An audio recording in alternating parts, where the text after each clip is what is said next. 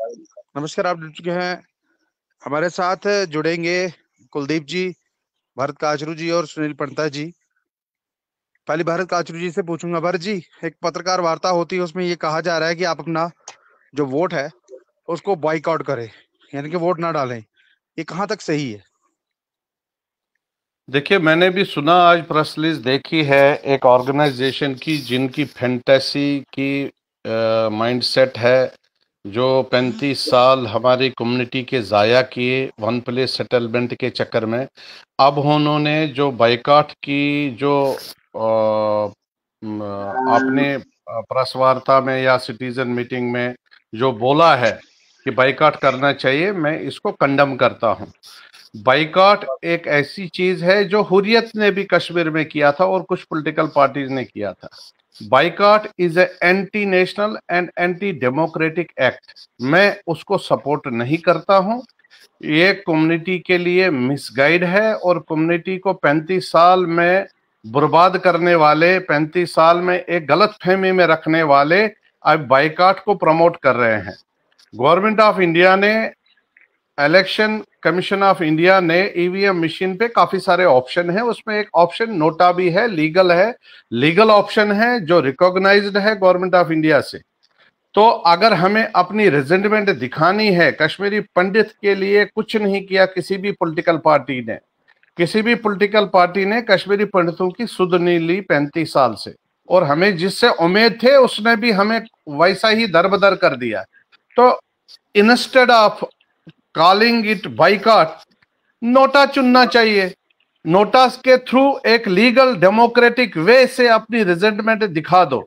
लेकिन जिस मुल्क में आप रहते हो, जिस कंट्री में आप रहते हो, जिस जहाँ पे आप बोलते हो, हम हिंदुस्तानी है तो हिंदुस्तानी हो के आप अनडेमोक्रेटिक वे से एंटी डेमोक्रेटिक एक्टिविटी और anti Indian national anti Indian policies और एंटी इंडियन एक्टिविटी नहीं कर सकते। मैं इसको कंडम सरे से कंडम करता हूँ और बड़ी मजम्मत करता हूँ मैं इस चीज़ की। सबसे पहले क्या कहेंगे इस इसके ऊपर? बहुत बहुत धन्यवाद गुलशन जी आज दोबारा आपने मौका दे दिया इस किसी मुद्दे पे बात करने के लिए। ये बड़ी ही बदकिस्मती है कि पिछले 35 साल से इस कश्मीरी पंडित को जो गुमराह किया जा रहा है वो आपको कहने की हमें ज़रूरत नहीं है। ये अब जग ज़ाहिर है कि कैसे पॉलिटिकल पार्टीज़ जो है, कोई भी पॉलिटिकल पार्टी उसने कैसे बर्बाद किया है इस कश्मीरी पंडित को और कैसे इंस्टॉल करते हैं लोगों को कि आप बात कर लो। सवाल यह है कि जैसे मेरे साथी भारत, काचरू जी ने कहा कि इसी मुद्दे पे भी आज जो बात आप कर रहे हैं I don't see any difference between the separatist constituency and those people जिन्होंने आज बताया कि हम बाइकआउट करेंगे। सवाल यह है कि जो लोग जिन लोगों ने नोटा का ऑप्शन रखा वो तो कोई लोग है ना जिन्होंने नोटा का ये रखा। मुझे लग रहा है कि जिन लोगों ने ये प्रेस कॉन्फ्रेंस करके लोगों को कश्मीरी पंडित कम्युनिटी को गुमराह करने की कोशिश की है कश्मीरी पंडित को एनमास निकल के नोटा का दब, बटन दबा के अमित शाह जी के कल वाले उन बयानों का भी जवाब देना चाहिए कि भाई, हम इकट्ठे हैं और आप जो हम हमें डिवाइड करते हो, ये डिवाइड एंड रूल की पॉलिसी छोड़ दीजिए।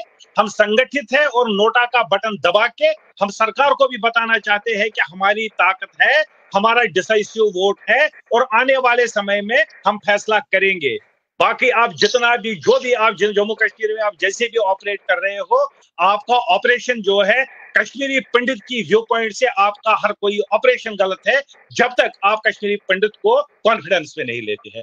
As far as this today's election is concern I strongly condemn जो आज उन्होंने प्रेस वार्ता में बात की, या अपनी मीटिंग में बात की एज ए सोशल एक्टिविस्ट जिसने 35 साल में काम किया है समाज में, मैं ये कहता हूँ, इसमें इस जिन्होंने भी ये बा, बात की है इनमें और हुरियत कॉन्फ्रेंस में कोई भी इनमें अंतर नहीं है। हमें नोटा का बटन दबाना चाहिए। मेरी अपील रहेगी सब कश्मीरी पंडित साथियों से जो एग्जाइल में है जो हॉस्टाइल एटमोस्फेयर में है उनको नोटा का बटन दबाना चाहिए।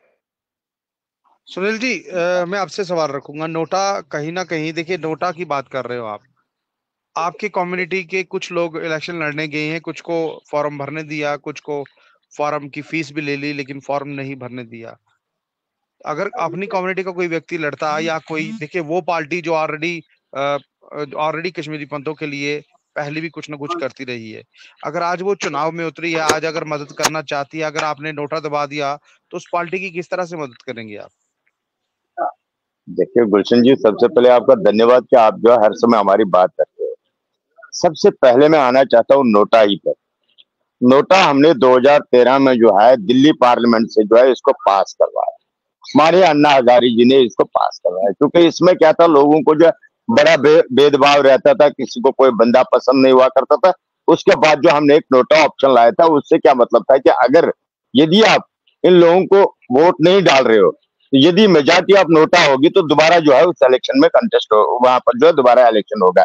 उसमें जो है जो लोग उसमें आते हैं, उनको जो है इलेक्शन नहीं चुनने देंगे। अब दूसरी बात आ गई हमारी समुदाय के ऊपर।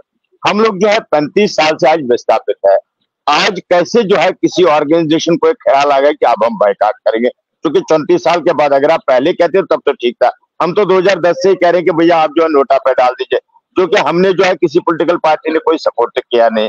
अब अगर आज आपको इस चीज़ पे याद है तो मैं तो अप्रिशिएट करता हूँ। इस चीज़ को अगर मेरे भारत जी ने या दूसरे कुलदीप जी, जो मेरे साथी बैठे, अगर उन्होंने आज नोटा की बात की तो आई क्योंकि नोटा ही एक ऑप्शन है कश्मीरी पंडित के ऊपर क्योंकि यदि मैं वहाँ पर इलेक्शन लड़ू, मैं उस जगह से रहूँ कि जिस जगह पर मेरा जो आज कोई रिश्ता ही नहीं है। खाली मेरा वोटर लिस्ट है वहाँ का और यहाँ पर जो है मुझे जितने भी डेवलपमेंट है वो मुझे जम्मू में है, दूसरी जगहों पर अन्य अन्य जगहों पर जो है देश में। लेकिन जो मेरा वोट है आज के डेट में, आप मुझे जैसे कहते हैं कि आप मुझे वोट उस कश्मीर के उस जगह पर कीजिए तो मुझे लगता है that is the wastage of my vote क्योंकि मुझे उस वोट के बदले कोई बेनिफिट नहीं मिल रहा है।